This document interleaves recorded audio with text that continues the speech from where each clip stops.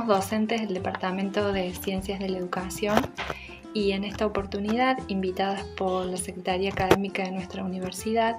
lo que queremos es brevemente compartir nuestra experiencia en cuanto a prácticas educativas virtuales que hemos estado desarrollando en este tiempo de aislamiento social. Específicamente compartiremos eh, algunas de las decisiones que hemos ido tomando en la asignatura Estrategias para el Trabajo Intelectual, que es una asignatura anual que se dicta para primer año de las carreras de licenciatura en psicopedagogía y profesorado y licenciatura de educación especial.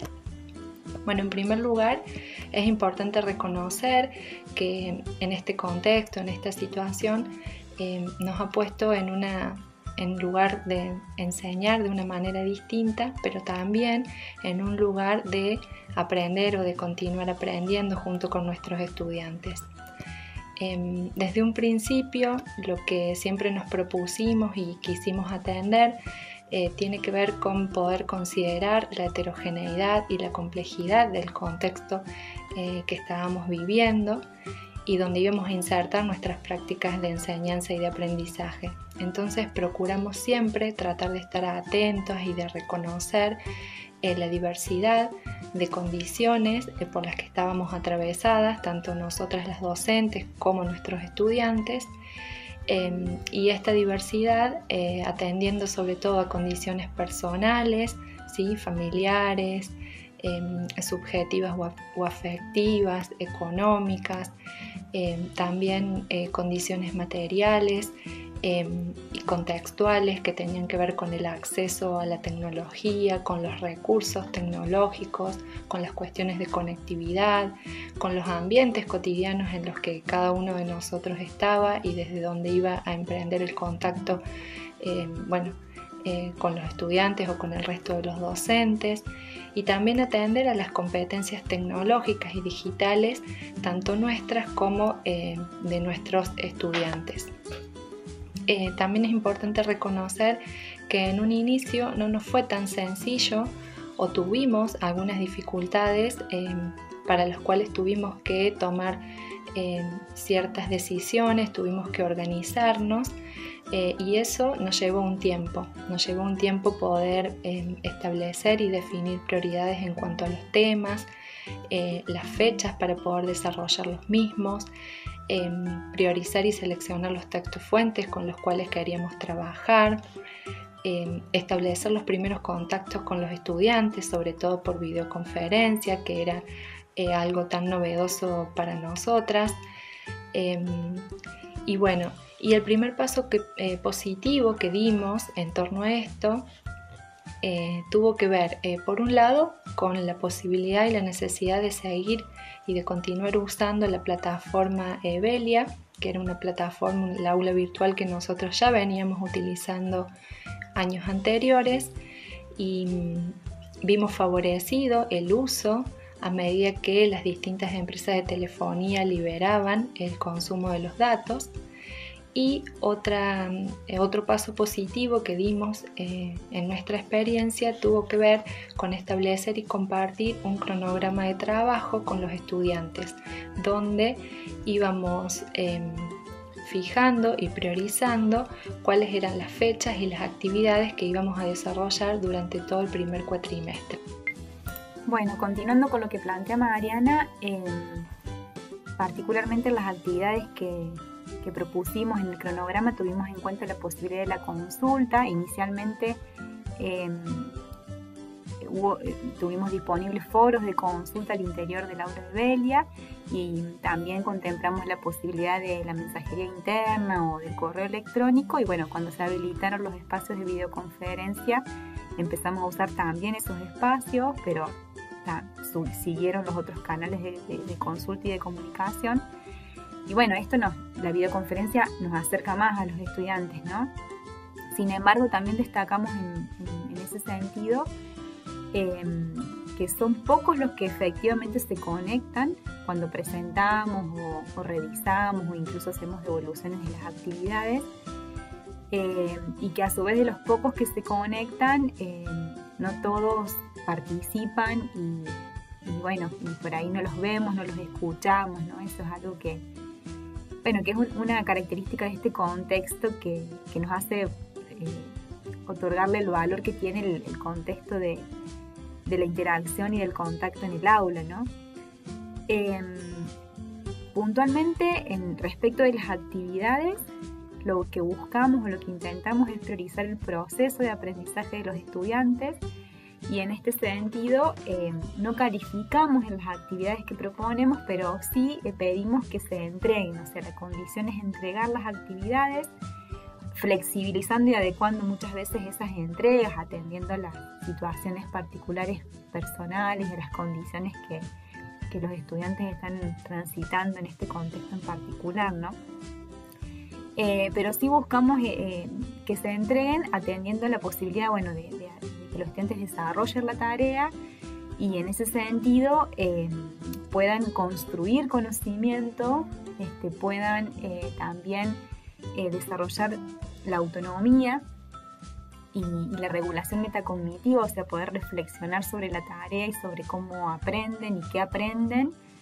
así como también la, la autonomía y la autoevaluación. Estas dos últimas cuestiones, este, si bien todas ellas forman parte de, la identidad de la materia, que tiene que ver fuertemente con construir el oficio de estudiante, con ayudar a que los estudiantes puedan repensarse como aprendices universitarios, eh, pero particularmente lo que es la autoevaluación y la autonomía, en este contexto en particular cobró una relevancia mayor, ¿no? En cómo, cómo tuvimos que repensar las actividades, rediseñarlas, apuntando y apostando más a esta posibilidad de autonomía y de autoevaluación.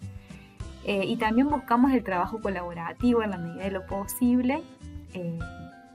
progresivamente fuimos incentivando más y los estudiantes fueron este, realizando en mayor medida trabajos de a pares o en grupos, pero sigue estando, eh, digamos, la posibilidad de entregarlo de manera individual y bueno, y muchos estudiantes lo siguen haciendo y por supuesto que eso en gran parte tiene que ver con las condiciones en, las que estamos en este contexto en particular. Bueno, teniendo en cuenta lo que mis compañeras han manifestado anteriormente y como para ir cerrando un poco estas reflexiones que queríamos compartir en esta oportunidad, nos parece importante destacar y compartir que todas las actividades que desarrollamos en el marco de la asignatura eh, son realizadas a través de distintos protocolos de trabajo. En esos protocolos explicitamos fuertemente los propósitos de aprendizaje, eh, los temas o las unidades que justamente nos encontramos desarrollando, ofreciendo distintas em, cuestiones vinculadas a lo central o lo nodal de ese tema o ese concepto que estamos trabajando. Eh, explicitamos las fuentes que, eh, que, van a acompañarnos, ya sean las cuestiones vinculadas a la lectura y escritura académica, y orientamos mucho en aquellas demandas que les hacemos a los estudiantes para que puedan leer, escribir o abordar alguna temática en particular. En este sentido, la función epistémica de la lectura y la escritura son eh, justamente la, función o los procesos que nos acompañan en el desarrollo de nuestra materia, eh, porque procuramos que los estudiantes puedan reflexionar sobre el contenido que leen y que escriben. ¿sí? Aquí los procesos eh, cognitivos que que ponemos en marcha son diversos y asumen distinto grado de complejidad, desde una conceptualización, desde una descripción, una explicación, eh, avanzamos en proceso de eh, ejemplificación, de fundamentación o argumentación, ¿sí? Eh, y lo que procuramos también, que nos parece muy relevante, que tiene que ver con nuestros procesos cognitivos, metacognitivos y de autorregulación, es la posibilidad de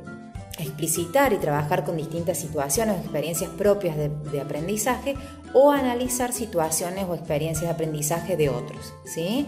Eh, algo también que es relevante destacar es que a través de la plataforma de Evelia, ¿sí? Eh, es la plataforma que justamente ha enmarcado nuestra relación, nuestro vínculo, nuestra práctica educativa, porque en ella los estudiantes, eh, justamente en la herramienta de actividades, ¿sí? ahí ellos entregan sus distintas producciones. También hemos usado el foro, ¿sí? Eh, justamente haciendo un trabajo interno adentro del foro como una herramienta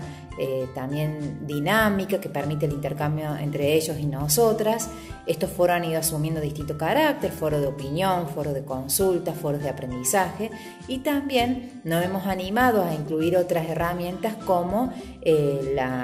el muro digital de Padle. ¿sí? Y otra cuestión eh, que nos parece relevante destacar para, ir cerrando con esta presentación tiene que ver eh, con el tiempo que hemos dedicado, eh, no, tanto, no solamente la producción por parte de nosotros como docentes, sino que le insistimos bastante que los alumnos se tomen un tiempo para trabajar las devoluciones y las valoraciones que hacemos de las distintas actividades. Estas devoluciones asumen ¿sí? y han ido asumiendo en el tiempo distinto carácter eh, porque presentamos devoluciones generales que son para todo el grupo clase. En esas devoluciones generalmente lo que hacemos es presentarles distintos videos, ¿sí? que van acompañados con distintas explicaciones conceptuales, pero apoyados de otras eh, herramientas como eh, la presentación de diapositivas, las presentaciones de PowerPoint, documentos de PDF, ¿sí? que justamente lo que hacen es, a través de esas herramientas, poder nosotras como docentes brindar alguna explicación o algún cierre de esa actividad. También eh, lo que hacemos es ofrecer devoluciones u orientaciones y valoraciones individuales o grupales según cómo hayan realizado la actividad los alumnos para que, para que en esa instancia podamos ver si se han ajustado o no la consigna de trabajo o si hay algunas cuestiones para revisar o mejorar. ¿sí? Y también lo que promovemos es la evaluación entre pares, porque esto le permite, por un lado, mirar la propia producción, pero a su vez mirar la producción de un compañero. Y ya para cerrar, nos parece importante eh, compartir una reflexión que venimos gestando desde que se ha iniciado todo este contexto tan particular de enseñanza y aprendizaje, en la que nos ha implicado como docentes y como estudiantes y como actores institucionales asumir otros desafíos, eh, atender a nuevas demandas, ¿sí? a cambiar nuestras prácticas cotidianas, pero también a volver a, reencontrarnos con nuestra profesión, ¿sí? Eh, y justamente a darle un valor tan importante al trabajo colaborativo, que en este caso, bueno, como docentes tenemos eh, la dicha y, la posibilidad de, de, haberlo transitado. Y compartimos una frase y una cita de Zambrano que nos parece muy enriquecedora. La docencia es un oficio necesario, complejo y exigente. Para desarrollarlo es necesario saber, saber enseñar y tener amor por lo que enseñamos y por nuestros alumnos y por nuestras alumnas. Nos abre la posibilidad de escucha, a tener una preocupación real por cada estudiante y a la capacidad para verlos, entenderlos, apremiarlos y saber esperarlos. Muchísimas gracias.